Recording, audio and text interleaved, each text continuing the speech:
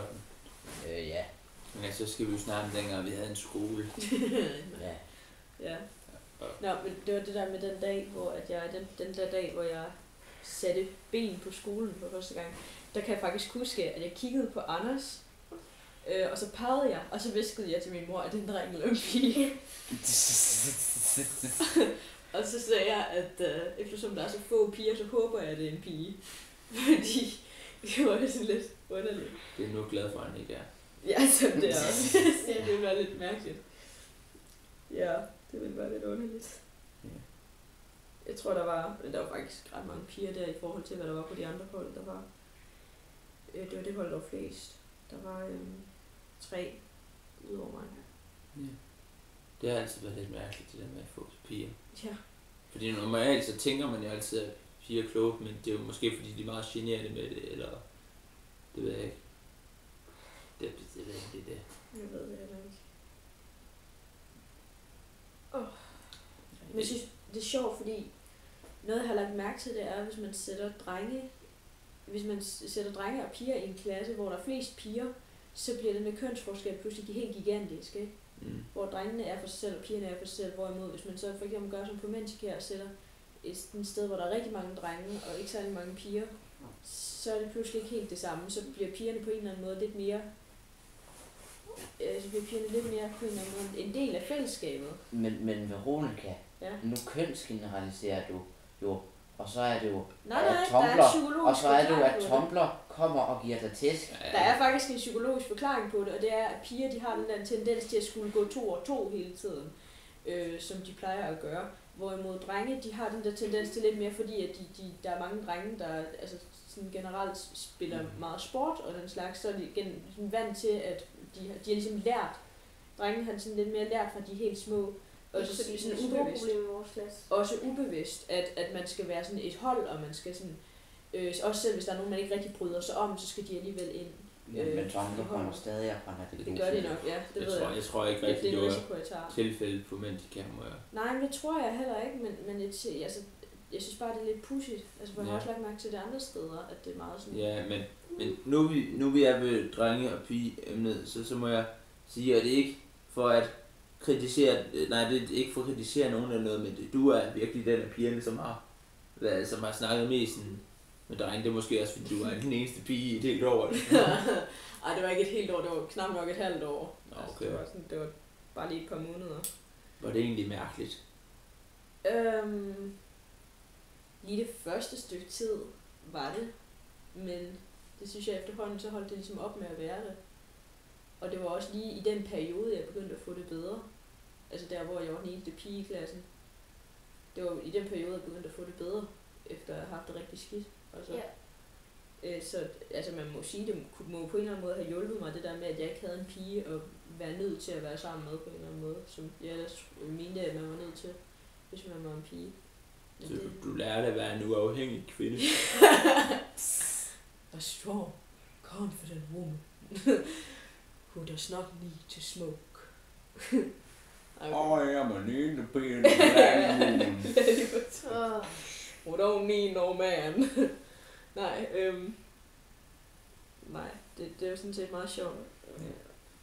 jeg, jeg, kan ikke, jeg ved ikke, om I alle sammen, det har I sikkert hørt alle sammen, men dengang jeg spiste Linda, Linda salt, saltkrystallerne, hvor at, øh, vi skulle i, i fysik, der skulle vi have om salt, du, salt kemi, kemi, vi skulle have om saltkrystaller, Ja. og så Linda, hun sagde, Ej, jeg har, jeg har lavet en masse her, og I må smage på dem senere, nogle af de mindre, men her der er den største og flotteste, jeg har lavet, og så rækte hun den til mig, og så skulle jeg sende videre.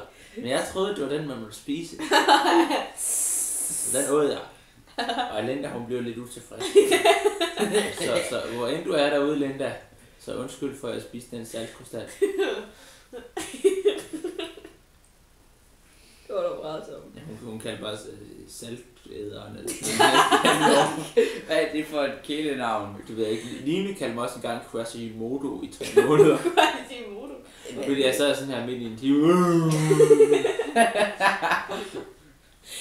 Quasimodo. Ja. Gerne være den nye. Nej, nej, stop, nej, nej. Det er det min kat. Lars. Husk håndledene. tidspunkt i, i, i 2014, i, i slutningen af 2014, hvor vi havde, eller ja, det var efteråret 2014, tror jeg lige var, men der havde vi sådan en projektuge, og så den sidste dag, der, øh, der, der mødte jeg op på skolen 20, 20 minutter før, at, at, at, at skoletiden startede. Og øhm, så fordi jeg var lidt træt, fordi at jeg havde været lidt senere op, end jeg skulle natten før, så tænkte jeg, jamen så tager, kan jeg lige tage mig en lille bitte miniskraber. Oh, nej. Og så fordi at jeg lagde, lagde mig et sted, hvor at ingen kunne se mig, så blev den li- miniskraber så til en skraber til klokken 12. Hvorefter at øhm, de, ja, alle var meget tæt på at være færdige med alting. Det, det er så svagheden. at lige være en lille skole, hvor, hvor man ikke kan få øje på en lille Tobias. Det, det minder mig om dengang jeg gik på hold 3, der var der, øhm, fordi at der var ikke så meget styr på tingene, så der var en dag, hvor vi fik fritime. Og øhm, så tog jeg mig også en lille skrabber. Og jeg vidste, at jeg ville blive vækket, fordi fantastiske Mathias, han sad lige ved siden af og så mig falde i søvn.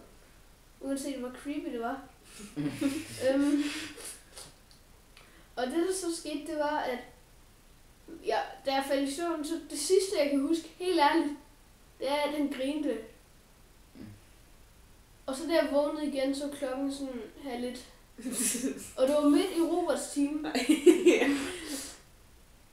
Men da jeg så vågnede, så gik jeg jo ind i klassen, ikke? For at sige, Åh, undskyld, men jeg har faldet i søvn. For at finde ud af, at deres mening om det, det var, har du overhovedet været væk, Daniel? Ej, okay. Ej. Ej, det var frygteligt. Mm. Og så skulle jeg selvfølgelig med, fordi at jeg tror ikke, det er ret godt at falde i søvn midt i skoledagen. Ej, okay. Lone, kan, kan du godt huske Mogens? Ja, jeg kan godt huske Kan du huske dengang, hvor at, øh, Store Anders han lukkede Mogens til at vise, vise Clown the Movie i timen? Ja, det kan jeg faktisk godt huske. Det var Jeg synes, ikke, jeg synes ikke, filmen var specielt god. Det var Nej, sjovt med var Mogens sjovt. reaktioner på det. Ja. Fordi han fik at vide, at det var en familiefilm. Hvem, hvem var Mogens? Han var sådan en meget disciplinær Ja. øh, gammel soldat. Ej, han var ikke, han var sådan set ikke, jeg synes ikke, han var så disciplineret. Ah. Han prøvede. Han prøvede det rigtigt nok. Og sådan må man alligevel give ham. Øh, I forhold til, at vi var den, den vildeste klasse på skolen dengang. Jeg kalder ham også kommemonster. Nej, okay. Kommer jeg over det hele. Det var frygteligt. Komme monster. Det, Det er vi frygtelig ked af forresten. Hvis du er derude, Mogens. ja, Det var vi ikke vant til at komme her. nej. Det er sådan der. Og kan huske dem? Min, Undgå pizza, undgå pizza, undgå min. Af min arm, af min arm, af min arm.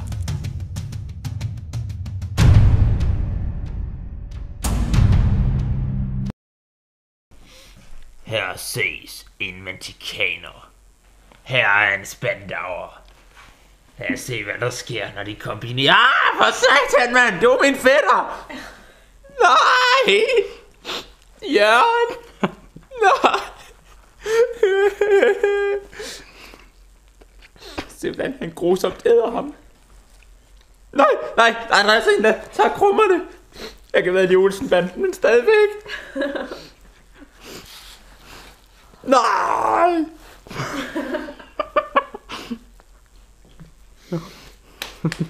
Se på det sørgelige rester af hjørnet. Se på ham!